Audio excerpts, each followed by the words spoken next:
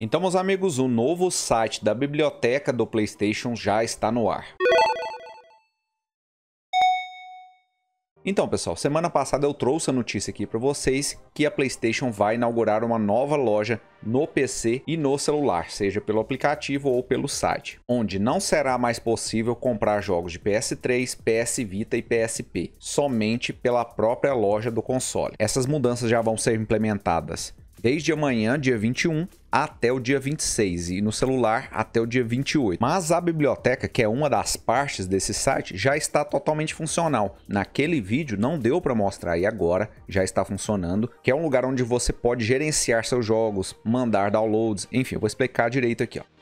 Então já estamos no site, está na minha conta, você está vendo aqui, ó. Nós temos a aba comprados. Então são, logicamente, os jogos comprados. Aí nós temos aqui os ícones, ó. PS4, tá vendo? Se tem do lado aqui da Plus, ó, a gente já sabe que são jogos da Plus, tá aqui. Aqui do lado a gente pode filtrar PlayStation 4, só vai mostrar os títulos de PlayStation 4, PS5.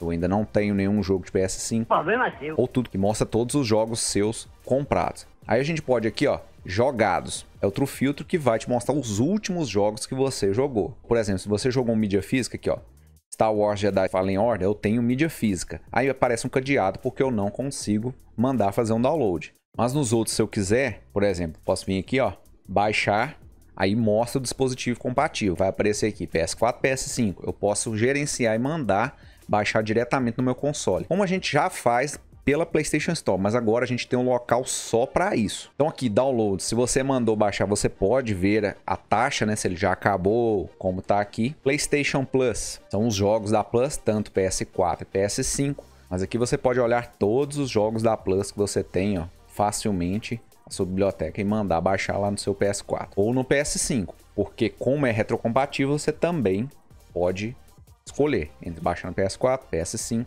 tranquilamente. E temos aqui a aba PS Now, lembrando que essa conta minha é brasileira. Bravo! Aí, entrando aqui no PS Now, jogos sob demanda. Nada, nada, nada, nada. Tá faltando esse serviço aí, né, cara? Aí vamos clicar aqui em vamos para PS Now. O que acontece? Então, não temos nenhuma página brasileira sobre PS Now, cara. Infelizmente, seria um serviço, é uma coisa a mais, né? O pessoal me pergunta bastante, minha opinião aqui nenhuma empresa quer deixar de ganhar dinheiro. Se a Sony trouxesse para cá, logicamente ela ia ganhar mais dinheiro. Mas eu creio que pela nossa estrutura de internet, nenhum serviço ainda veio. Tanto que o Stage não veio, o xCloud ainda não veio. Então, ou seja, não é que a empresa está fazendo birra, é porque nossa infraestrutura é muito ruim, cara. Mas a meu ver, eles deviam lançar, sei lá, por exemplo, PS Now Lite, onde eles avisariam que só funcionariam jogos via download, ou que o streaming poderia não funcionar. Enfim, acho que já seria uma solução pois tem uma biblioteca muito boa. Atualmente, o último grande título que entrou foi Days Gone. Fora os jogos de PS3, por exemplo, God of War 2, God of War Ascension. Você só joga no PlayStation 4 através da PS Now. Então, sim, cara, tá passando a hora desse serviço vir pra cá, né? Aqui? Então, meu amigo, se você ainda não for inscrito no canal, por gentileza, clique no botão inscreva-se ativando o sininho das notificações, pois a gente tá sempre atualizando com as melhores dicas, tutoriais e notícias. Então, um forte abraço e até a próxima.